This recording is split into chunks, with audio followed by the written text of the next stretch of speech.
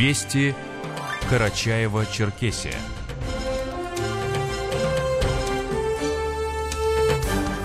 Здравствуйте, в студии с информационным выпуском Умар Тикеев. Коротко о некоторых событиях. 14 декабря глава Карачаева-Черкесии Рашид Тимрезов проведет прямую линию с жителями республики. В Большом зале Дома правительства состоится очередная 43-я сессия Народного собрания Карачаева-Черкесии. В республиканской столице продолжается обсуждение дизайн-проектов дворов, попавших в программу благоустройства на следующий год. И в последних числах декабря в Донбайе состоится юбилейный пятый турнир по смешанным единоборствам «Битва в Донбайе». Далее об этих и других темах подробнее. Глава республики Рашид Тимрезов, председатель Народного собрания парламента Карачаева-Черкесии Александр Иванов и председатель правительства республики Мурат Аргунов поздравили жителей республики с Днем Конституции. В поздравительном адресе первых лиц говорится Основной закон, принятый россиянами в 1993 году, вошел в жизнь граждан как главный гарант их прав и свобод, независимости и целостности государства. Конституция – надежный фундамент, на котором крепко стоит наше правовое государство. Именно ее положение задают вектор развития страны, позволяют эффективно реализовывать социальные программы, укреплять экономику, объединять многонациональный и многоконфессиональный народ России. Сегодня мы особенно должны быть едины. Наша сплоченность, искреннее стремление отстаивать национальные интересы, с готовностью отвечать на любые вызовы времени помогают Отечеству всегда оставаться великой державой. И главное помнить, что благополучие Карачаева-Черкесии и всей страны зависит от нашей с вами активной гражданской позиции. Дорогие земляки, в этот праздничный день желаем вам мира и добра. Пусть жизнь будет долгой и счастливой, говорится в поздравительном адресе первых лиц республики. Глава Карачаева-Черкесии Рашид Тимрезов в режиме видеоконференц-связи принял участие в приеме граждан, который по поручению президента страны провел полномочный представитель главы государства в Северокавказском федеральном округе Юрий Чайка. На вопрос о необходимости строительства фельдшерского пункта в Хурзуке, о чем просил житель аула Рашид Брезбевич, доложил Юрию Яковлевичу о том, что на 2023 год запланировано строительство нового фельдшерского пункта площадью 60 квадратных метров оборудованного в соответствии с современными стандартами оснащения. По словам руководителя республики, сроки строительства будут ускорены и объект сдадут уже 1 июня следующего года. Я всегда мечтал только летать. Он стал не только летчиком, но и увековечил свое славное имя, вписав его в великую историю России. На центральной площади Карачаевска торжественно открыли памятник герою России Канамату Баташеву, погибшему исполняя свой долг перед Отечеством в ходе специальной военной операции. Присутствующим обратился глава Карачаева-Черкесии Рашид Тимрезов и поблагодарил всех причастных к увековечиванию памяти земляка. Канамат Хусевич завершил свой путь военного летчика как настоящий герой. Выполнил свой воинский долг в зоне специальной военной операции, сохранив жизни многих других российских солдат. Я хочу искренне поблагодарить всех причастных к увековечению памяти нашего земляка. Канамат Хусевич будет примером для всех нас. Примером мужества, чести, героизма и искренней любви к Отечеству. Уверен, к монументу будут приходить сотни мальчишек, и кто-то из них наверняка выберет профессию летчика, потому что почувствует горячее желание стать похожим на Канамат Хусевича. Память о нем будет воспитывать и укреплять патриотический дух у граждан всех возрастов, что особенно важно сейчас, в новых тенденциях мировой политики. Воспитание достойных граждан своей страны – одна из главных задач общества и государства. В Черкеске открыли учебно-методический центр военно-патриотического воспитания молодежи «Авангард». В ряды курсантов центра вступили первые три десятка ребят, которые скоро начнут пятидневные учебные сборы. В целом за год «Авангард» может охватить порядка тысячи человек. По словам заместителя председателя правительства республики Дмитрия Бугаева, для этого в центре созданы все условия для практических занятий, в том числе для физической подготовки. Миссия Центра заключается в создании условий для формирования у молодежи лидерских качеств, устойчивой гражданской позиции, чувства верности Отечеству и личной ответственности за судьбу страны.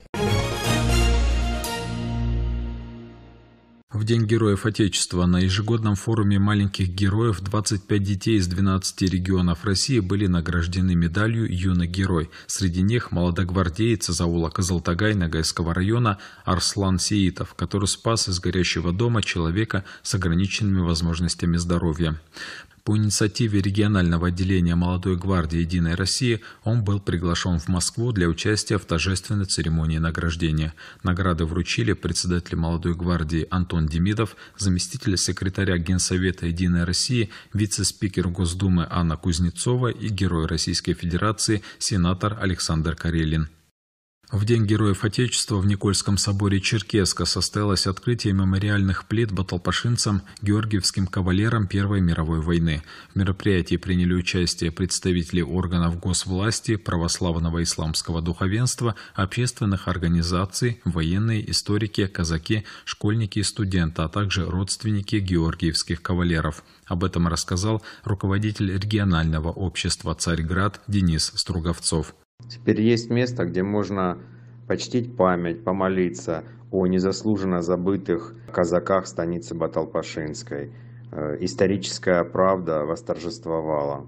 И в заключении мероприятия э, руководитель регионального общества «Царьград» Денис Труговцов э, вручил благодарности ключарю архиерейского подворья собора святителя Николая Чудотворца города Черкеска протоиерею Сергию Кузнецову иерею Александру Гурину и историку из Отрадненского района Сергею Немченко за плодотворное сотрудничество и за содействие в историческом просвещении казаков Баталпашинского отдела, прихожан, паломников и туристов. Более 12 тысяч новых рабочих мест планируется создать в рамках реализации модели экономического развития Карачаева-Черкесии. Кроме того, планируется увеличение объема налоговых отчислений в бюджетную систему страны до 12 миллиардов рублей. Об этом сообщили на совещании по вопросам реализации инвестиционных проектов. Напомню, в модель экономического развития вошли пять прорывных проектов. 14 декабря в 16 часов 30 минут глава Карачаева-Черкесии Рашид Тимрезов проведет прямую линию с жителями республики. Задать вопрос руководителю региона можно уже сейчас по номеру 8 800 200 22 44, а также отправить свое видеообращение через телеграм по номеру 8 918 710 99 90. Хронометраж не должен превышать одной минуты. Линии для приема звонков уже открыты и принимаются с 9 до 18 часов. Трансляция начнется на «Россия-1», «Архаз-24», «Радио России», КЧРФМ и на аккаунте главы республики в ВК.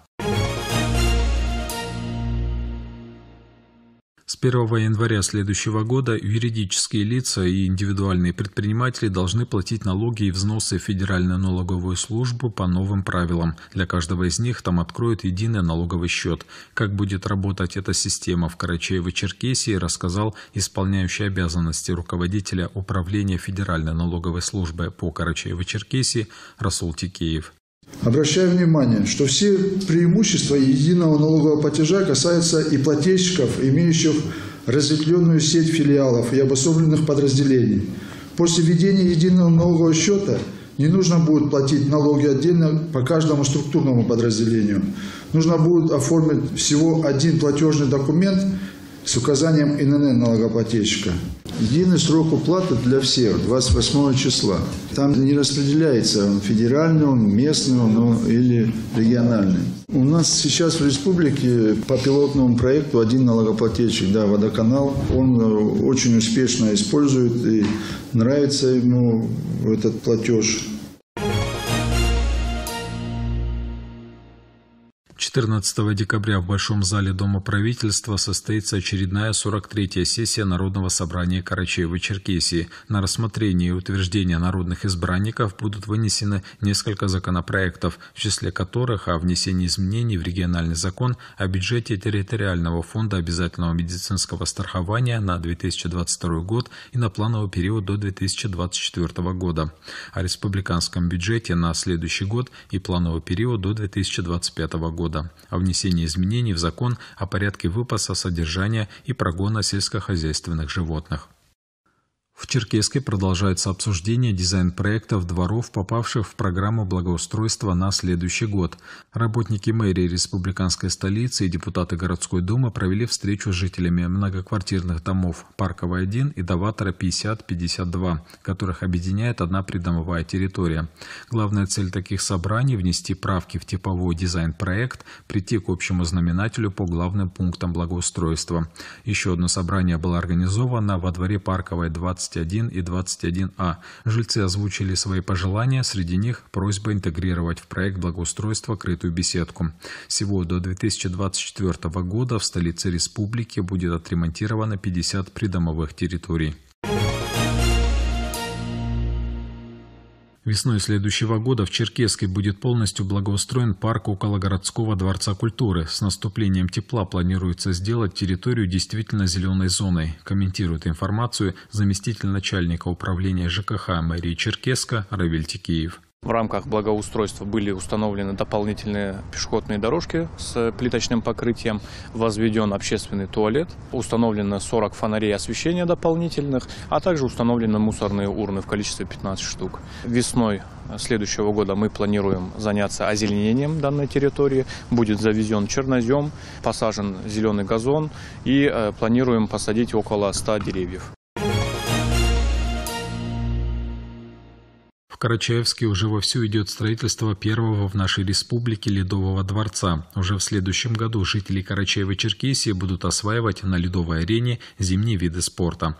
О темпах строительства спортивного объекта расскажет начальник отдела физической культуры и спорта администрации Карачаевского городского округа Альберт Сараев. На сегодняшний день популяризация именно зимних видов спорта, она будет очень э, потребности для жителей – она нужна. И здесь мы можем э, рассчитывать ну, такие виды спорта, как хоккей, например, конькобежный спорт. В будущем планируется также привлечь специалистов, которых будут э, обучать наших детей.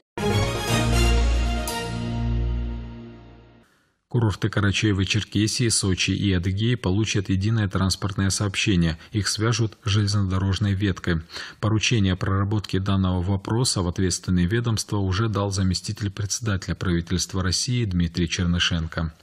Масштабный ремонт двух общежитий на 720 мест Карачаево-Черкесского госуниверситета, который проводится впервые за более чем 40 лет, завершится в этом месяце. По словам ректора вуза Таусултана Узденова, ремонтируются три здания университета. В прошлом году были заменены системы отопления и энергоснабжения, проведена внешняя и внутренняя отделка зданий, ремонт жилых комнат, санузлов, коридоров, заменены камеры наружного и внутреннего наблюдения, а также обновлена противопожарная система и полностью поменяна сняли мебель. Продолжается капитальный ремонт автомобильной дороги Майкоп-Карачаевск. Преображение трассы, которая является единственной транспортной артерией между нашим регионом и Краснодарским краем, радует не только жителей станицы Преградной, но и туристов, которые ежедневно проезжают по этой дороге. Об этом рассказал главный инженер управления Карачаева-Черкесск автодор Моят Хутов. Данная работа у нас э, идет планомерно. С 2016 года мы на участке автомобильной дороги от Зеленчугской до станицы Преградной уже отремонтировали более 38 километров. Планируется закончить полностью всю автомобильную дорогу от границы Краснодарского края до станицы Зеленчугской к 2024 году, что составит более 60 километров. До конца 2024 года на федеральной сети Карачаева-Черкесии отремонтируют 21 километр автодорог и два моста. Об этом рассказала пресс-секретарь Управления федеральных автомобильных дорог «Кавказ» Милана Тхамокова. С двух до четырех полос расширят 12 километров подъездной дороги к Черкеску от Р-217 «Кавказ» с 51 по 63 километр. А в 2023 году на автодороге А-155 отремонтируют 9-километровый участок Черкесск-Усть-Джигута и два моста в Донбае. В текущем году стартовал капитальный ремонт участка от съезда в село Садовое до пересечения улиц Ставропольской и Набережной, столицы Карачаева-Черкесии. Встречные потоки разделят осевым тросовым ограждением, модернизуют один существующий светофорный объект и устроят 9 новых установят более 750 дорожных знаков и нанесут горизонтальную дорожную разметку термопластиком. Согласно планам ФКУ Кавказ, в эксплуатацию участок будет сдан до ноября 2024 года. Весной 2023 года дорожники приступят к ремонту четырехполосного участка федеральной дороги А-155 Черкесск-Домбай, граница с Республикой Абхазия с нулевого по 9 километр. В июне 2023 года в эксплуатацию введут мосты через реку Домбай-Ульген и Аманаус – 24 и 25 декабря в Домбае состоится юбилейный пятый турнир по смешанным единоборствам «Битва в Домбае». В этом году соревнования проводятся в поддержку вооруженных сил Российской Федерации, участвующих в спецоперации на территории Украины. Ожидается, что в мероприятии примут участие около 200 спортсменов из разных регионов Северокавказского и Южного федеральных округов. В рамках турнира будут разыграны чемпионские пояса, победителей наградят грамотами и памятными подарками. На базе Карачаево-Черкесского госуниверситета имени Умара Алиева заработал проект «Студенческая студия радио и подкастов». Автор проекта стал обладателем гранта конкурса Росмолодежи и на полученные средства оборудует современную радиостудию. Об этом рассказал автор проекта Аслан Гирюгов. Я являюсь руководителем проекта студенческой студии радио и подкастов. Выиграл средства в рамках проекта от Росмолодежи и сейчас занимаюсь реализацией его. Уже прошло несколько встреч со студентами, Хотим создать такую площадку, чтобы они проходили практику, возможно, собрали какое-то портфолио для трудоустройства, и чтобы в нашей республике и на базе нашего университета именно развивалась радиожурналистика. Министерство внутренних дел по Карачаево-Черкесии в очередной раз обращается к жителям республики быть более бдительными и не поддаваться на уловки мошенников. Не забывайте, что работники банков никогда не звонят клиентам с вопросами о персональных данных и не пугают потери денежных средств. Они не просят назвать данные банковских карт клиентов, либо поступившие посредством СМС одноразовые пароли. Кроме того, работники финансовых учреждений не просят клиентов оформить кредитные продукты, а затем перевести деньги деньги на неизвестные счета. Это все новости к этому часу. С ними вас знакомил Умар Тикеев. Берегите себя и своих близких. Всего доброго. Уважаемые граждане, доводим до вашего сведения, что на территории Карачаево-Черкесской республики работает Госюрбюро – оказывающие бесплатную юридическую помощь гражданам, относящимся льготным категориям, в случаях и в соответствии с федеральным законом о бесплатной юридической помощи в Российской Федерации. Вы можете прийти на личный прием в Черкеске по улице Красноармейская, 33, обратиться по телефону 28 00 56 или оформить электронное обращение на сайте gubkcr.ru выплатить зарплаты, сделать закупки, составить план. А если проверка придет? Не придет. Занимайтесь тем, что у вас получается лучше всего – бизнесом. По всей России правительством введен мораторий на плановые и внеплановые проверки бизнеса. В случае его нарушения оставьте жалобу на портале госуслуг и получите ответ в течение суток. Вы слушали Радио России Карачаева-Черкесия. До новых встреч!